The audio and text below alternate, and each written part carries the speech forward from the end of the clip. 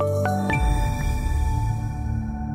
Today in the grain market, after the USDA report, the soybeans fell. It was a mixed report really for beans uh, with stocks and acreage. The acreage was a little bit lower. We thought we might get a little bit of a boost, uh, but uh, that's definitely not happening. We're still watching outside influences kind of like helping these, uh, these markets. We know that the weather is going to be changing a lot of these acreage numbers, but who cares because corn was had an all-out collapse today. That's the real story of the day. The bears just uh, absolutely pounded futures down 17 cents. We haven't seen uh, this kind of movement in quite a while. Uh, the, uh, the, stocks were up and the acres were way high. You can see the percentages of acres were in uh, Arkansas as well as North Dakota, North and South Dakota. Interestingly enough, those states are uh, a couple of the states that we really were adversely affected by those winter storms. So we're going to be watching closely. Uh, we expect that those acres, those acre numbers are going to change, and there is still talk that we could have weather issues all all the way through to May.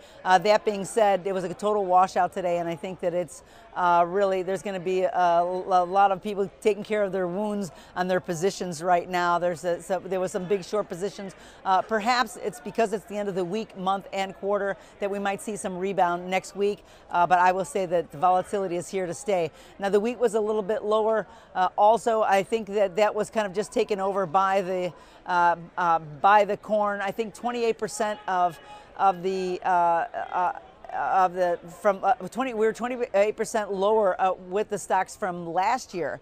So we would have expected the market would have had a little bit something you know a little bit higher but uh, that was not to be. Now we're at, at about the 450 we did not take out the lows for wheat but we're kind of just hanging here right now uh, just waiting for some news. Hopefully that there's going to be some uh, resolution with the US China uh, trade war. That really has been difficult and kind of been playing on these markets. A lot of volatility ahead and I think this is just uh, the beginning. So hang on to your hat.